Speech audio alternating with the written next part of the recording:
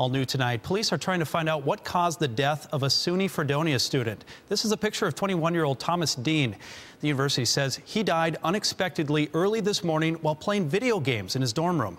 Investigators don't suspect foul play, but his cause of death is unknown. Dean was a very involved student. He was a student ambassador and vice president of the Writers' Ring. Campus counseling is available to students through the next few days.